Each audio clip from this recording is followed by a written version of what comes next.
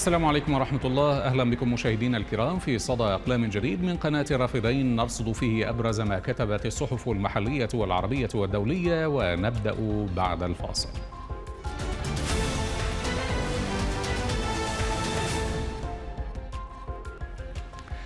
يتساءل الكاتب سمير داود حنوش كيف تصبح مليارديرا في العراق؟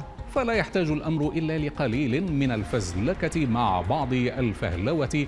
ومبادرة للتقرب لحزب من أحزاب السلطة مع رشة خفيفة من الحظ حتى تكون في مرتبة قارون. لا تحتاج المحاولة إلا أن تدع ضميرك ودينك وأخلاقك جانبا وتمنحهم إجازة مفتوحة وتمتهن موبقات اللصوصية والسرقة وأن تفسد قدر المستطاع حتى تصبح من أرباب الثروة والمغانم في العراق.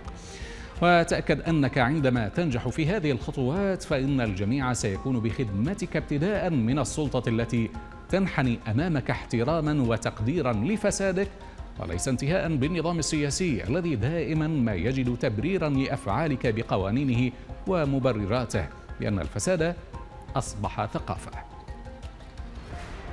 في العراق هناك نوعان من البشر السارق والمسروق أو لنقل الناهب والمنهوب. أما فئة المنهوبين الذين ارتضوا بالمقسوم الذي صاغته السلطة لهم حتى وإن كان يحمل هذا المقسوم كل العذابات الدنيوية من عسر في المعيشة وانعدام الكهرباء والماء وصعوبات حياتية. لا أول لها ولا آخر. أما فئة الناهبين فأولئك الذين اكتسبوا رضا السلطة والأحزاب والقانون. لما لا فهم من درجة الآلهة التي لا يمكن التجرؤ أو المساس بهم في حين أكسبتهم أفعالهم درجة قطعية أن الضربة التي لا تقضي على الفساد فإنها تقويه. لقد أصبحت لهؤلاء إقطاعيات وديكتاتوريات وفضائيات وجيوش وسلطة تفوق صلاحيات الدولة. بعدما استعملوا ذلك المزيج من خلطات الفهلوة والفذلكة وبعض الغياء مصحوبا بالاحتيال. فكان يكفي منهم أن يقوموا بتسجيل شركات بأسماء وهمية للنصب والخداع وباتفاق وتخادم مع عناوين حكومية فاسدة لابتزاز الدولة وتغريمها أو لاستحصال هبات أو حتى آتاوات تجمعها تلك العصابات ثم تقوم بغلق أبواب هذه الشركات الفضائية ولتبدأ دورة حياة جديدة في النصب والاحتيال بتسجيل شركات جديدة وأسماء وهمية. تعاد فيها دورة حياة الفساد واللصوصية كما حصل في صفقة فساد كبرى ضحيتها أموال الشعب المنهوبة عندما تم الحكم بتعويض شركة وهمية لم تتجاوز مدة تأسيسها ثلاثة أشهر فقط. تعويضات من الدولة العراقية تقدر بأكثر من 600 مليون دولار ما يعادل موازنة جمهورية موريتانيا لسنة 2007 من موقع كتابات نقرأ مقالا للكاتب زهير الفتلاوي تحت عنوان وطن بلا كهرباء. تستمر معاناة الشعب مع الفساد والفشل وهدر الثروات مقابل انعدام الخدمات وخاصة الطاقة الكهربائية مطلع مطلع كل شهر من شهور الحر الشديد تبدأ المعاناة.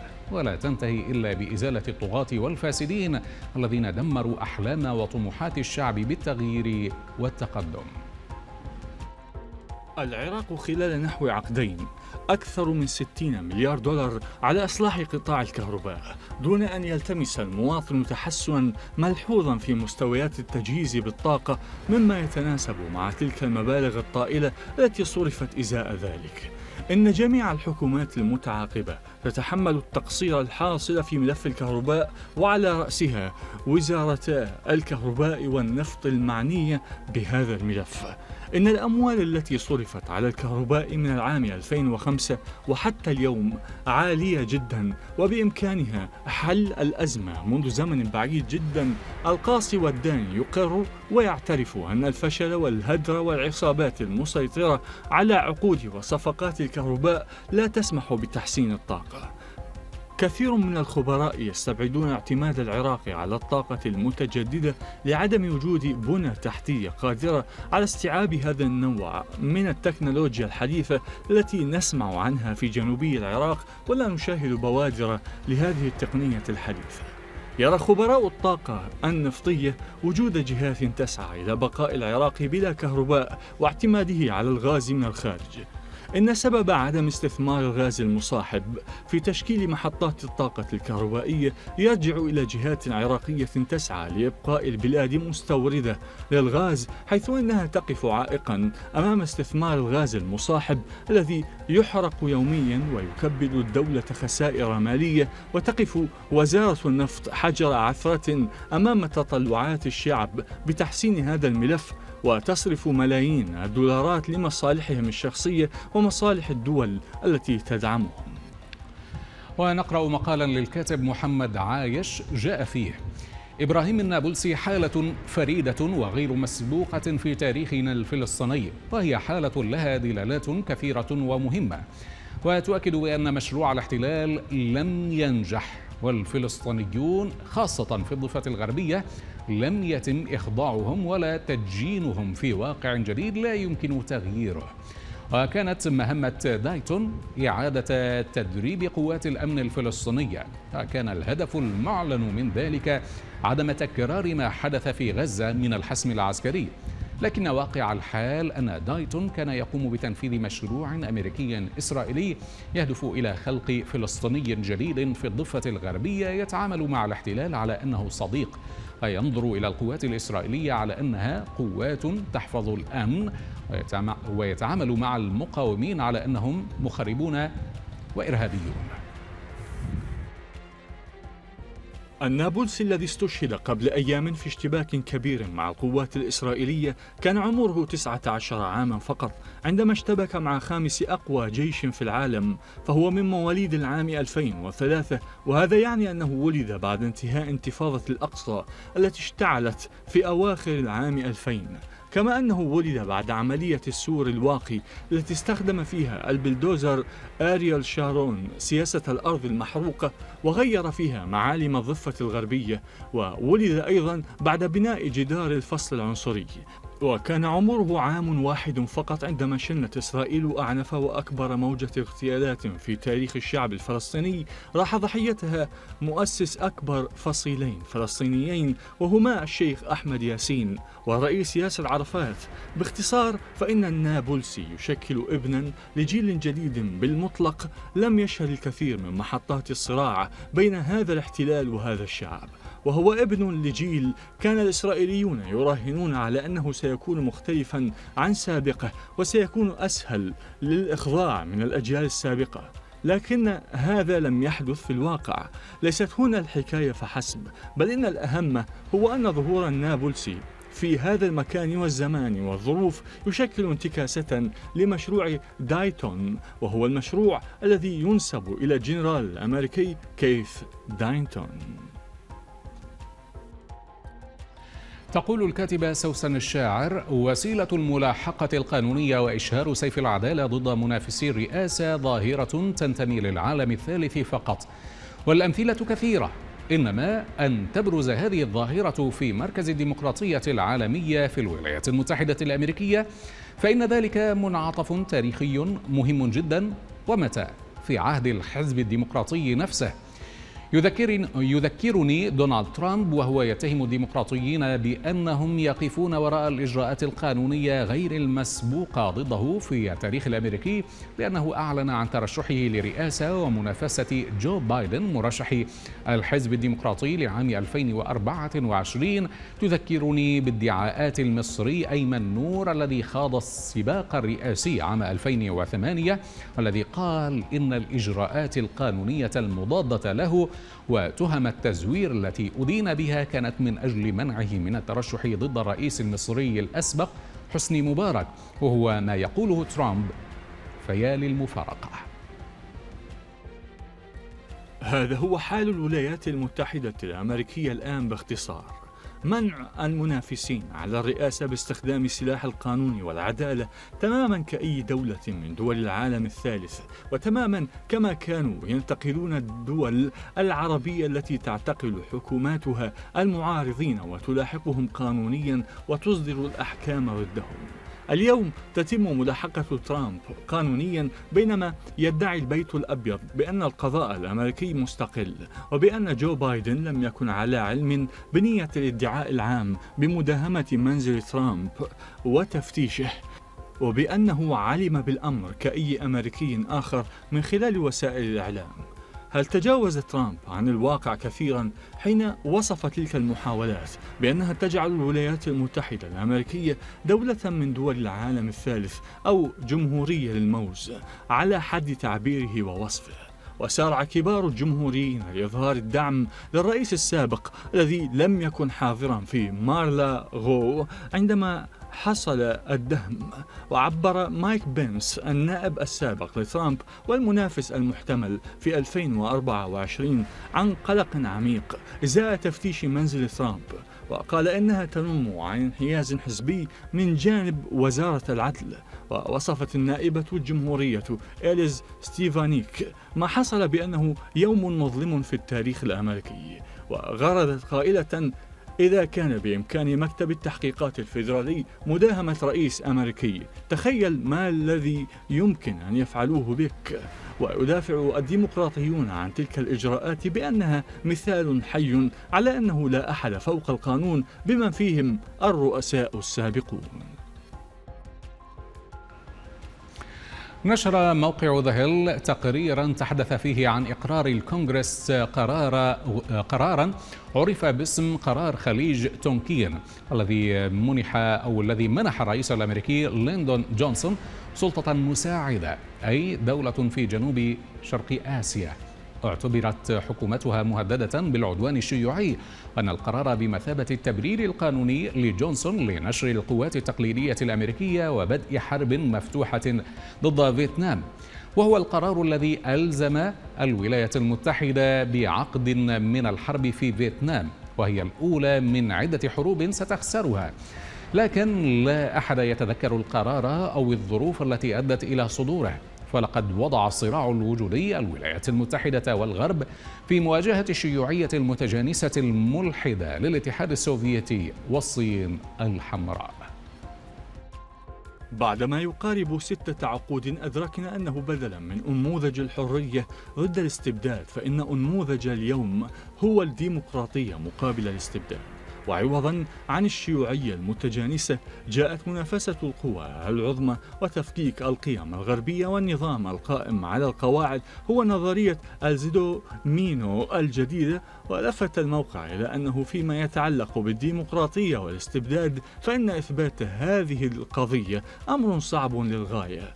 إذا كان النفاق غير مسموح به فالأسماء الأولى لمعظم أصدقائنا في الخليج هم الملك أو ولي العهد.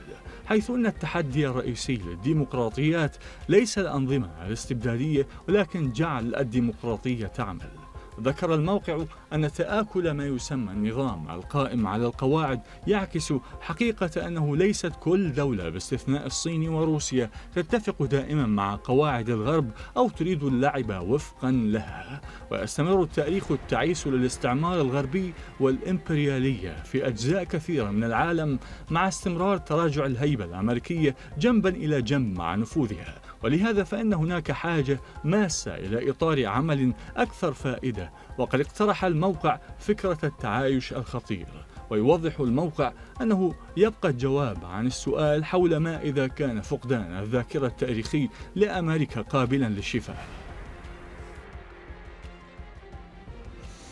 نشرت صحيفة أوبزيرفر مقالا لسايمون تيسدال قال فيه إن الأوكرانيين قد يتعرضون لطعنة في الظهر مع انتشار الفزع في أوروبا من حرب بوتين أضاف أن الهدف الاستراتيجي للغرب في أوكرانيا هو وقف غزو روسيا وإعادة السيادة الوطنية وتحقيق نصر للديمقراطية ضد قوى الظلام. وهي الأهداف التي وضعها الرئيس الأمريكي جو بايدن في وارسو أثناء زيارة له في آذار مارس. ووافق عليها لاحقا قادة الاتحاد الأوروبي وبريطانيا.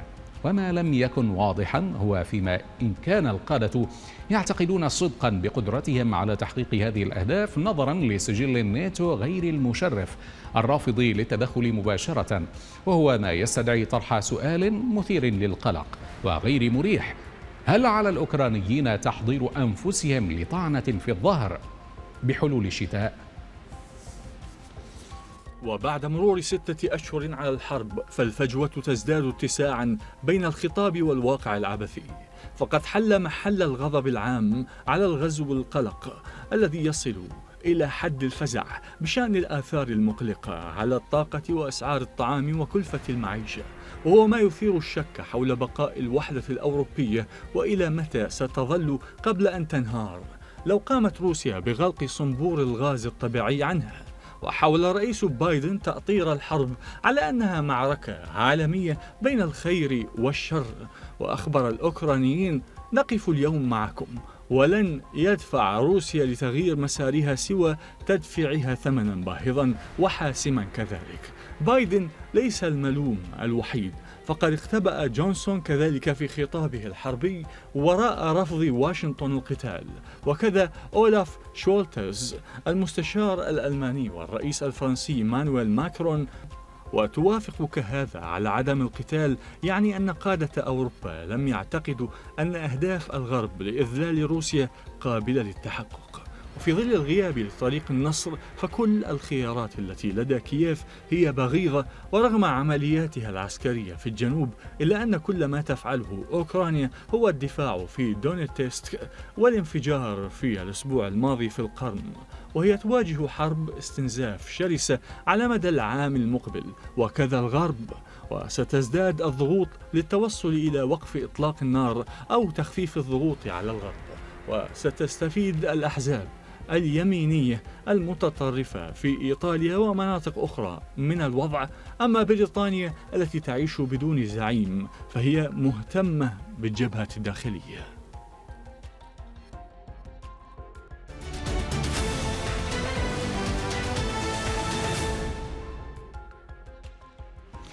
ذكرت وكالة بلومبيرغ أن معركة قانونية تجري حاليا في المحاكم الأمريكية حول ما إذا كان دواء زانتاك أو زانتاك لعلاج الحموضة يسبب السرطان رغم تأكيد الشركات المنتجة أنه آمن.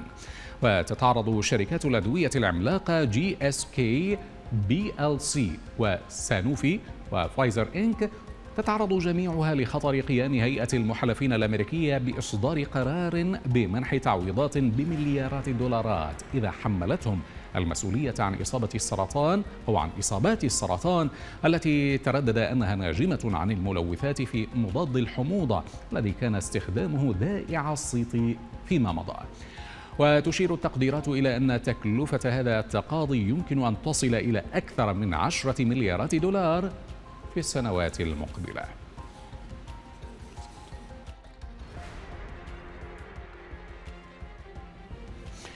ألقت الشرطة البريطانية القبض على مشتبه به استخدم دمية دب كبيرة الحجم للاختباء في داخلها. وقالت شرطة مانشستر الكبرى عندما رأينا هذا الدب الضخم يتنفس أثناء مطاردة لص اعتقدنا أن شيئا ما لم يكن صحيحا ثم وجدنا المشتبه به محشوا بالداخل.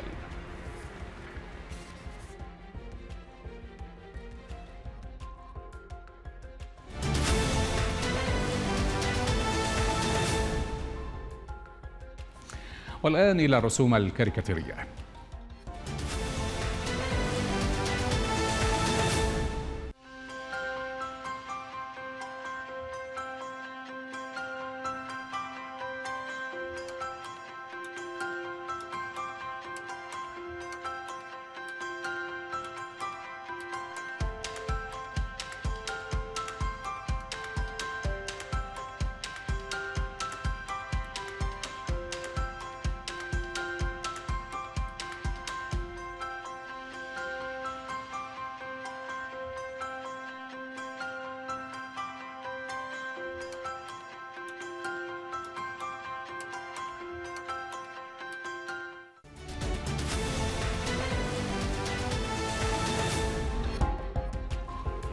وبهذه الرسوم نصل لختام حلقة اليوم من صدى الأقلام. في صدى أقلام جديد نلتقي دمتم بخير مشاهدينا. إلى اللقاء.